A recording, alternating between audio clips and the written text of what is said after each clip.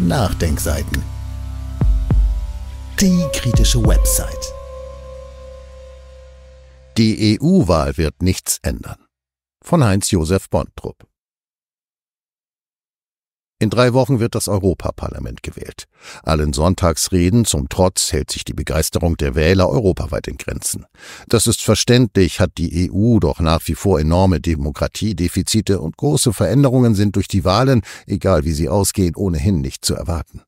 Der Wirtschaftswissenschaftler Heinz-Josef Bontrup hat die demokratische Verfassung der EU analysiert und kommt dabei zu einem ernüchternden Ergebnis.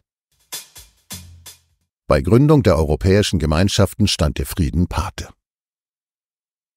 Nach 17 Millionen Toten im Ersten Weltkrieg und 50 Millionen Toten im Zweiten Weltkrieg entstand innerhalb und zwischen vielen europäischen Staaten der Wunsch nach einer nachhaltigen Friedenssicherung durch die Gründung einer europäischen Gemeinschaft. Nie wieder Krieg, hieß die Botschaft. Der Plan einer europäischen Gemeinschaft für Kohle und Stahl, sogenannte Montanunion, war 1951 die Geburtsstunde der heutigen Europäischen Union EU. Durch den Zusammenschuss ihrer Grundindustrien und Errichtung einer neuen überstaatlichen Autorität, deren Beschlüsse bindend sein werden für Frankreich, Deutschland und die übrigen teilnehmenden Länder, werden die ersten Grundlagen einer europäischen Föderation gelegt, die die Erhaltung des Friedens dient. So der damalige französische Außenminister Robert Schumann 1886 bis 1936 und spätere Präsident der Europäischen Union am 9. Mai 1950. 2012 erhielt die EU nicht unumstritten den Friedensnobelpreis für ihre Stabilisierung des Friedens in Europa. Krieg war aber in Europa längst mit dem Jugoslawienkrieg 1991 bis 2001 zurückgekehrt und tobt jetzt seit 2014 zwischen Russland und der Ukraine mit massiver militärischer Unterstützung der Ukraine durch die USA und die EU. Hier insbesondere durch das Mitgliedsland Deutschland. Der wissenschaftliche Dienst des Deutschen Bundestages stellt diesbezüglich eine Kriegsbeteiligung Deutschlands fest. Die Bundesregierung widerspricht. Nur die Linke im Parlament nimmt das Gutachten ernst. Der Psychologe und Publizist Georg Rammer schreibt in Ossietzky, Zitat, Deutschland und die EU befinden sich im Umbau zu einer repressiven, militarisierten Formaldemokratie. Die Reaktion der Bevölkerung schwankt zwischen Aufbegehren und Resignation und der Amnesie der Grünen, die einst systemkritisch das Gegenteil ihres verrohten Bellizismus vertraten. Die den Frieden durch Diplomatie erreichen wollen, kommen um das mühsame Geschäft des differenzierten Argumentierens nicht herum. Kontext herzustellen, Hintergründe erläutern, Fragen stellen. Wie viele Kriege hat der Westen in den letzten 30 Jahren geführt? Wie viele der Imperialist Putin?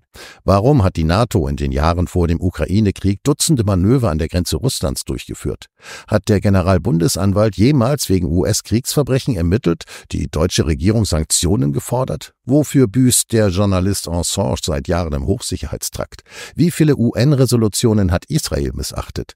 Wollen israelische Parteien gleiche Rechte und einen eigenen Staat für Palästinenser? So viele Fragen, sich der Echokammer der Bellizisten verweigern, der Amnesie der Erinnerung entgegensetzen. Zitat Ende. Das brauchen wir an Bewusstsein in allen 27 EU-Staaten. Aber von dem europäischen Wunsch nach immerwährendem Frieden sind wir offensichtlich weit entfernt, wenn man Politiker reden hört und Leitmedien über Krieg schreiben, als wäre Krieg etwas Normales, das man ertragen muss. Krieg benötigt zur Vorbereitung immer ein Feindbild, das in den Völkern nur über eine entsprechende Propaganda geschaffen werden kann. Auch das faschistische Deutschland musste erst von Hitler und seinen Vasallen geschaffen werden, bis ganz gewöhnliche deutsche Hitlers willige Vollstrecker Daniel Jonah Goldhagen wurden. In diesem Kontext hat auch die seit 1917 betriebene Hetze gegen Russland nie aufgehört, auch nicht nach dem Zusammenbruch der Sowjetunion 1989. Es war immer ein ökonomischer Krieg, verbunden mit riesigen konventionellen und atomaren Aufrüstungen zwischen den bestehenden Wirtschaftsordnungen, zwischen Kapitalismus und Sozialismus, und der Krieg hat im Grunde bis heute nicht aufgehört. Gegen das primitive Feindbild führte der ehemalige Bundespräsident Gustav Heinemann aus, wir müssen erkennen, dass die antisowjetische Hetze den Vorspann für die westliche Rüstungspolitik darstellt. Wenn wir den Frieden sichern wollen, müssen wir der antisowjetischen Hetze ebenso wehren wie der Hetze gegen irgendein westliches Volk. Muss eine Bresche geschlagen werden in den blinden und pauschalen Antikommunismus, diese kriegsträchtige Mentalität bürgerlich-pharisäischer Selbstgerechtigkeit. Wir können mit den östlichen Nachbarn nicht in Frieden leben, wenn wir ihr politisches System auszuhöhlen und zum Zusammenbruch zu führen trachten. Wir haben gegen die Propaganda, welche die psychologische Bereitschaft zum Krieg schaffen soll, ebenso Widerstand zu leisten wie gegen die militärische Kriegsvorbereitung. Zitat Ende. Diese bringt den Rüstungskapitalisten wie schon immer enorme Profite. Das größte deutsche Rüstungsunternehmen, Rheinmetall eilt von Rekord zu Rekord, titelte die Westdeutsche Allgemeine Zeitung WAZ. Für Journalistinnen wie Eva Quadbeck ist das der Preis für Sicherheit. In einem Leitartikel der Frankfurter Rundschau schreibt sie, wenn sich der Finanzminister dagegen stemmt, für Subventionen und für zusätzliche Sozialausgaben Schulden aufzunehmen, dann ist das absolut nachvollziehbar. An der Sicherheit der Nation sollte man aber nicht sparen. Russland hat längst auf Kriegswirtschaft umgestellt und ordnet dem eigenen Imperialismus alles unter. Die Schuldenbremse ist eine gute Einrichtung, um die Konsumausgaben des Staates unter Kontrolle zu halten. Wenn sie aber für die Sicherheit des Landes zur Bremse wird, muss sie reformiert werden. Zitat Ende. Wahl zum EU-Parlament. Am 9. Juni sind jetzt Wahlen zum 10. EU-Parlament EP. 1979 erfolgte die erste Wahl. Rund 350 Millionen Menschen sind in 27 EU-Staaten nach dem 2020 vollzogenen Austritt Großbritanniens Brexit aufgerufen, 720 neue Abgeordnete zu wählen, davon 69 deutsche Parlamentarier. In Deutschland dürfen erstmals auch 16- und 17-Jährige abstimmen. Die Wahl findet vor dem Hintergrund des Krieges in der Ukraine und vor einer in der EU massiv vorliegenden politischen Rechtsorientierung statt, die ihre wesentliche Ursache in einer zwischen den EU-Staaten und auch innerhalb der Länder sich immer mehr entwickelten wirtschaftlichen Segmentierung und Spaltung hat. Der von der EU-Politik und ihren Staaten initiierte und damit gewollte wirtschaftliche Kurs einer neoliberalen Marktradikalität hat den Reichtum bei wenigen konzentriert und die Armutsquoten steigen lassen. Die Wirtschafts- und Währungsunion, beschlossen im Maastricht-Vertrag am 7. Februar 1992, war und ist kein Wohlfahrtsplan für die Mehrheit der Menschen in den EU-Staaten, sondern für eine kapitalbesitzende Minderheit. Und die EU ist für Bürger und Bürgerinnen eine völlig intransparente Institution, in der nicht einmal die Entscheidungen der EU-Politiker, wie wir im Folgenden sehen werden, auf Basis einer indirekten parlamentarischen Demokratie getroffen werden. Das EU-Volk ist zugleich meilenweit von einer politischen Willensbildung entfernt, beziehungsweise wird nicht einmal in Ansätzen beteiligt, sondern permanent vor vollendete Tatsachen gestellt. Selbst die Auslösung eines Krieges würde hier heute ohne Volksabstimmungen von törichten Politikern vollzogen. Hier kann ich dann alle nur das Buch der US-amerikanischen Historikerin Barbara Tuckman, Die Torheit der Regierenden von Troja bis Vietnam, empfehlen. Das EU-Parlament hat nur wenig zu sagen. Das EP spielt im gesamten EU-Gefüge, wenn überhaupt, nur eine sekundäre Rolle, und das EP, wo eine Politik für alle Menschen in der EU gemacht werden müsste, ist gar kein richtiges Parlament und noch weiter von den Interessen und Nöten der Menschen entfernt, als dies in den Nationalparlamenten schon der Fall ist. Ein richtiges Parlament hat im Rahmen der staatlichen Gewaltenteilung uneingeschränkt die Legislative zu sein. Hier werden die Gesetze gemacht. Das trifft für das EP aber nicht zu. Die EU ist kein Staat, sondern nur eine Staatengemeinschaft. Andreas Fiesan, Professor für öffentliches Recht an der Universität Bielefeld, schreibt, das EP ist legislatives Organ, aber nur mit einer zweiten Kammer auf nationaler Ebene vergleichbar. Das Parlament muss nämlich keinesfalls allen Rechtsakten der EU zustimmen. Bei einigen Rechtsakten muss das Parlament nur angehört werden.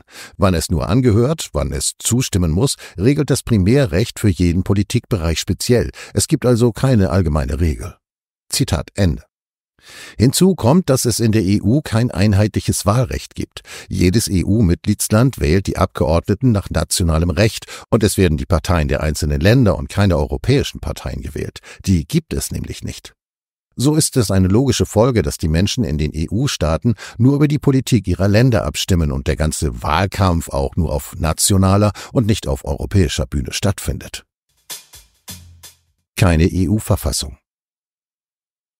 Weiter gilt, dass das EP auf keiner Verfassung beruht, sondern lediglich auf einem EU-Vertrag, der am 1. Dezember 2009 in Kraft trat, und einem Vertrag über die Arbeitsweise der Europäischen Union, AEUV.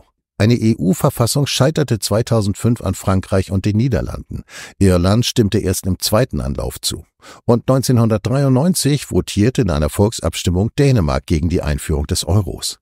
In Deutschland fanden dagegen weder bezüglich der EU-Verfassung noch bezüglich der Euro-Einführung Volksabstimmungen statt. Hier entschied jeweils nur der Bundestag und Bundesrat indirekt. Mit dem Scheitern der Verfassung schien die EU politisch tot zu sein. Das wurde aber von der herrschenden politischen Elite in der EU nicht akzeptiert. Ohne die Völker in einer weiteren Volksabstimmung zu fragen, wurde dann ganz einfach die geplante Verfassung, nur ohne offizielle Fahne und Hymne, in einen EU-Vertrag umgewandelt und danach die AEUV, auch ohne jegliche demokratische Abstimmung, in den Hinterzimmern der politischen Macht ex post hinzugefügt. Jörg Hufschmidt, der sich wie kein anderer Ökonom mit dem wirtschaftlichen Part der Verfassung auseinandergesetzt hat, kam 2004 zu einem vernichtenden Urteil. Zitat die Verfassung wird die Europäische Union ihren Bürgern und Bürgerinnen nicht näher bringen. Sie wird den Prozess der Entfremdung festschreiben. Auch die angekündigte Demokratisierung europäischer Strukturen und Verfahren durch die Verfassung ist im Wesentlichen ausgeblieben. Vielmehr würde bei Verabschiedung des Entwurfs die Demontage sozialstaatlicher Substanz durch die neoliberalen Gegenreformen Verfassungsrang erhalten. Zitat Ende. Europäischer Rat und Ministerrat viel bedeutender als das EP sind der Europäische Rat und der Ministerrat. Schon 1974 wurde der Europäische Rat besetzt mit den Regierungschefs der EU-Länder ins Leben gerufen. Er legt die Leitlinien für die Entwicklung der EU und für die gesamte Außen- und Sicherheitspolitik fest und nicht das Europäische Parlament. Außerdem ernennt der Rat die EU-Kommissionsmitglieder, die dann vom Europäischen Parlament lediglich noch bestätigt werden müssen. Auch die Richter am Europäischen Gerichtshof EuGH sowie den Präsidenten der Europäischen Zentralbank bestimmt der Rat. Vom Europäischen Rat zu unterscheiden ist der Ministerrat, das zentrale operative Entscheidungsgremium der EU. Jeder der Mitgliedstaaten darf hier ein Mitglied, das im Heimatland den Status eines Ministers haben muss, in den Ministerrat entsenden. Der Vorsitz ist durch ein Rotationsprinzip bestimmt. Er wechselt halbjährlich am 1. Januar und am 1. Juli. Zu den Aufgaben des Ministerrates zählen die Rechtsetzungsbefugnis, das Initiativrecht, Kontrollrechte, Koordination der Wirtschaftspolitik, Abschluss von Abkommen mit dritten Staaten und internationalen Organisationen, Ernennung der Mitglieder des Wirtschafts- und Sozialausschusses, des Regionalausschusses und des Rechnungshofes, Festsetzung von Gehältern und die Aufstellung des Entwurfs für einen Haushaltsplan. Hier zeigt sich die hohe, nicht wirklich demokratisch zu kontrollierende Machtfülle des Ministerrats. Die Entscheidungen werden alle hinter verschlossenen Türen getroffen und sind von den Sorgen und Nöten der EU-Bewohner ganz weit entfernt. Beschlüsse kommen grundsätzlich mit einfacher oder doppelt qualifizierter Mehrheit zustande. Einstimmigkeit ist bei besonders wichtigen Fragen, zum Beispiel Steuerfragen, Artikel 99 EGV vorgesehen. EU-Kommission obwohl die EU-Kommission als weiteres Machtzentrum der EU eigentlich nur die Exekutive ohne legislative Entscheidungsbefugnisse bildet, werden auch hier viele Gesetzesvorhaben initiiert, vorbereitet und damit letztlich präjustiziert. Die Kommission besteht zurzeit aus 27 Mitgliedern. Präsidentin ist die deutsche Ursula von der Leyen CDU mit rund 32.000 Bediensteten. Kennen Sie hier den deutschen Vertreter oder die Vertreterin? Die Arbeit der Kommission durchblicken nicht einmal die 720 Abgeordneten des EU-Parlaments. Dabei sind die Aufgaben der Kommission bedeutend. Dazu gehören die Kontrolle der Einhaltung des primären und sekundären Gemeinschaftsrechts, die Erarbeitung und Aufgabe von unverbindlichen Stellungsnahmen und Empfehlungen, um das Gemeinschaftshandeln zu aktivieren und die Wahrnehmung eigener Entscheidungsbefugnisse sowie die Mitwirkung am Zustandekommen der Handlungen anderer EU-Organe. Außerdem sieht die EGV für die Kommission eigenständige Entscheidungskompetenzen vor. Diese betreffen die Verwaltung der EU-Haushalte, Artikel 205 EGV, und der verschiedenen Fonds sowie der finanziellen Einrichtungen, die Errichtung der Zollunion, Artikel 12 FFEGV, die Erhebung von Ausgleichsabgaben im Bereich der Landwirtschaft, Artikel 46 EGV, Schutzmaßnahmen im Bereich des Kapitalverkehrs, Artikel 73 Absatz 2 EGV, die Beseitigung von Steuerdiskriminierungen, Artikel 100 100a EGV und Zustimmung und Genehmigungen von Beihilfen Artikel 93 Absatz 2 EGV. Und die EU-Kommission wirkt an Handlungen des EU-Parlaments im Rahmen des Haushaltsverfahrens Artikel 203 EGV und auch an Handlungen des Europäischen Rates mit. Europäischer Gerichtshof die Judikative bildet als dritte Gewalt der Europäische Gerichtshof EuGH, bestehend aus 13 Richtern, unterstützt von sechs Generalstaatsanwälten. Das Gericht ist zuständig für Verstöße eines Mitgliedslandes gegen Vertragsverpflichtungen und für Verstöße gegen unrechtmäßiges Handeln des Rates und der Kommission. Da die EU aber kein Staat ist und damit auch nicht über ein Gewaltmonopol verfügt, kann der EuGH auch kein Urteil vollstrecken, sondern ist auf die freiwillige Umsetzung der EuGH-Urteile durch die Mitgliedstaaten angewiesen. Daneben besteht die EU noch aus Nebenorganen wie dem Wirtschafts- und Sozialausschuss, dem Ausschuss der Regionen und dem von den übrigen Organen der EU unabhängigen EU-Rechnungshof. Seit dem 1. Dezember 2009 wurde es zudem im Vertrag von Lissabon ein hoher Vertreter der Europäischen Union für Außen- und Sicherheitspolitik, EU-Außenminister oder EU-Außenbeauftragter, eingeführt. Ernannt wird der hohe Vertreter mit qualifizierter Mehrheit für die Funktionsperiode der EU-Kommission vom Europäischen Rat im Einvernehmen mit dem der Kommissionspräsidentin nach Zustimmung des Europäischen Parlaments. Aktueller Amtsinhaber ist seit dem 1. Dezember 2019 der Spanier Josep Borrell. Wirtschaftsordnung Sah der EWG-Vertrag EGV von 1967 noch keine expliziten Bestimmungen über eine Wirtschaftsordnung in den Mitgliedstaaten vor, wobei auch im deutschen Grundgesetz eine solche ausdrückliche Festlegung nicht gegeben ist, so wurde mit dem EGV von 1992, beschlossen in Maastricht, im Artikel 3a EGV und im Artikel 102a EGV eine marktwirtschaftlich wettbewerbliche Ausrichtung der Wirtschaftspolitik für die EU-Staaten rechtlich festgelegt. Zitat die Mitgliedstaaten und die Gemeinschaft handeln im Einklang mit dem Grundsatz einer offenen Marktwirtschaft mit freiem Wettbewerb, wodurch ein effizienter Einsatz der Ressourcen gefördert wird und halten sich dabei an die in Artikel 3a genannten Grundsätze. Zitat Ende Artikel 102a EGV. Was heißt hier aber offene Marktwirtschaft und freier Wettbewerb? In seiner rechtswissenschaftlichen Dissertation schreibt Henning Schwier, das Merkmal der Offenheit wird man dabei in zweierlei Richtungen begreifen müssen.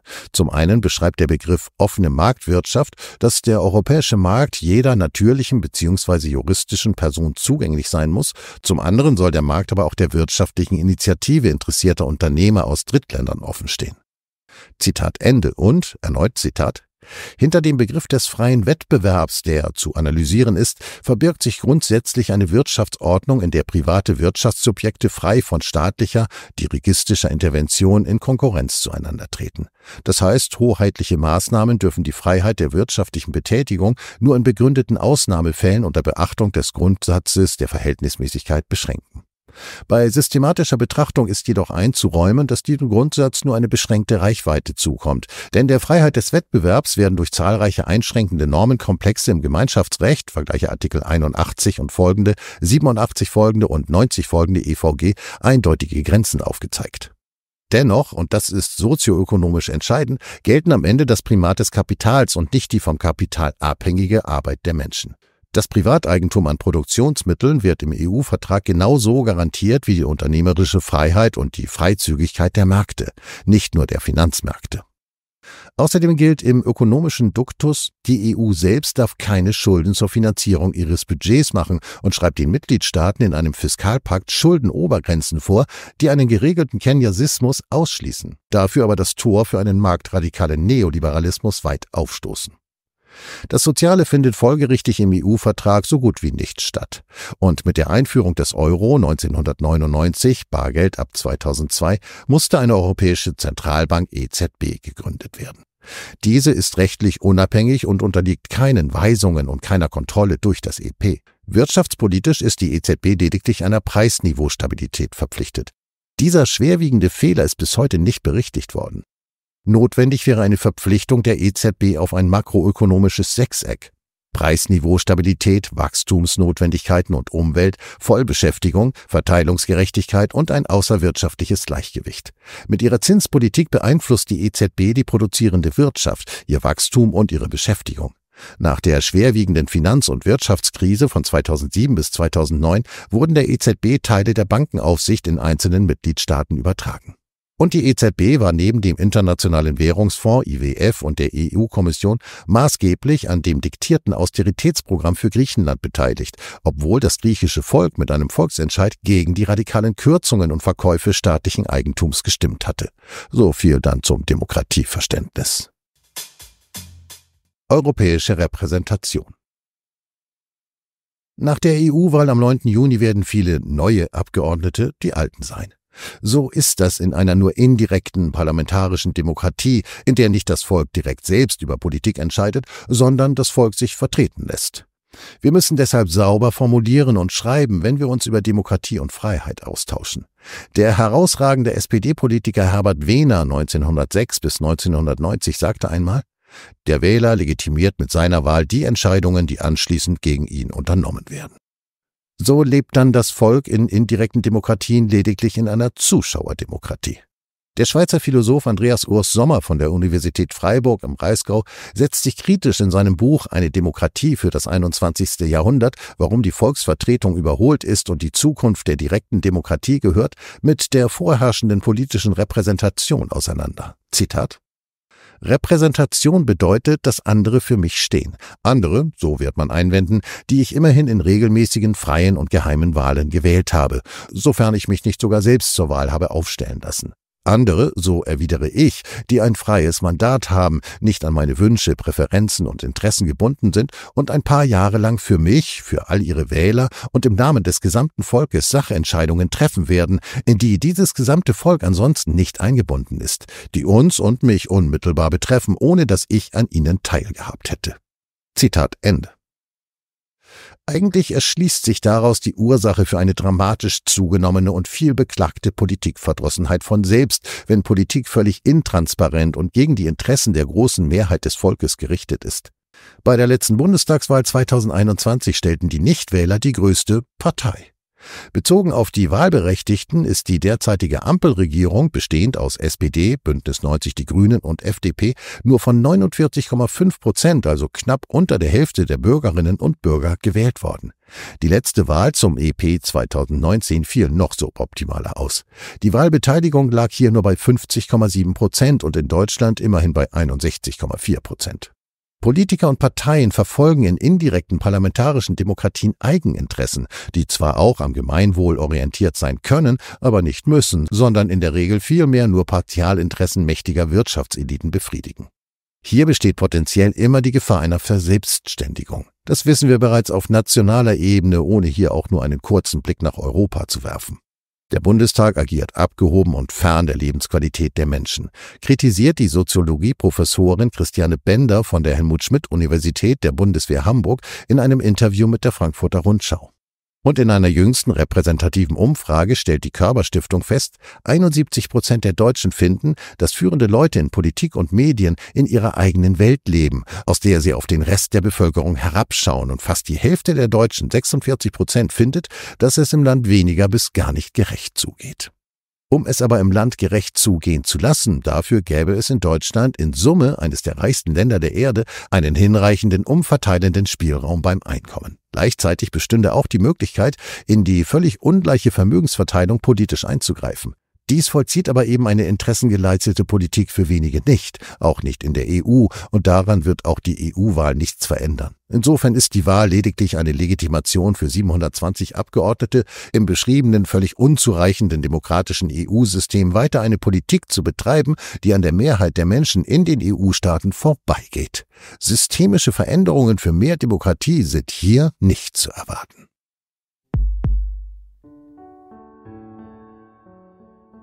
Dieses Audio konnte nur entstehen, weil zahlreiche Leser und Leserinnen die Nachdenkseiten fördern und durch Spenden unterstützen.